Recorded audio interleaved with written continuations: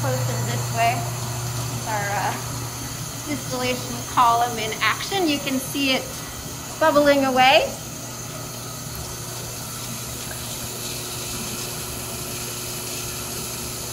So in uh, in chemical engineering, we deal a lot with separations, not just reactions like you might think about for you know a chemical reaction. We take a raw material and we want to make a finished product with it. So once we've done the reaction, we often will need to separate different mixtures of a, a component, uh, different components within a mixture.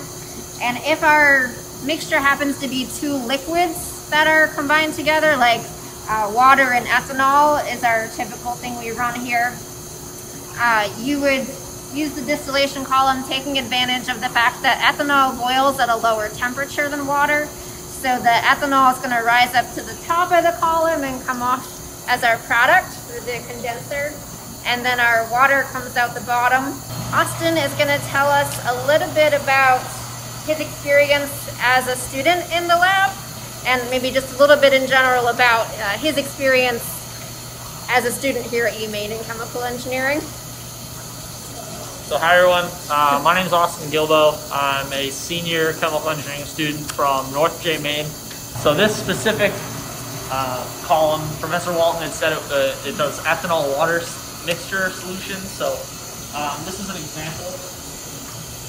Um, so this is hand sanitizer. It's 70% ethanol, uh, which is a regular industrial grade uh, hand sanitizer. We've actually made this in the lab with this distillation column. So um, the, the time of need, or it was the time of need around April, um, we were actually using our resources to make hand sanitizer for people in need or people in the community. So it's really kind of cool that we get to do hands-on experience and also help you know the, the greater community. So so the, uh, the column is running at approximately 200 degrees Fahrenheit uh, to separate uh, our ethanol, which comes off the top, and our water, which comes off the bottom.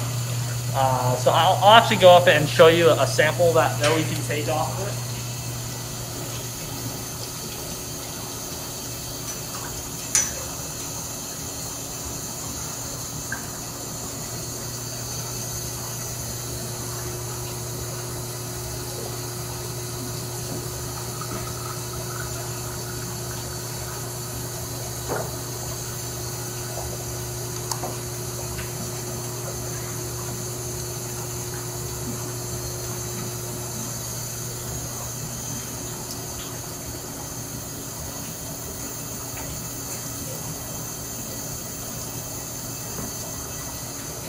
So this is a sample that we can take.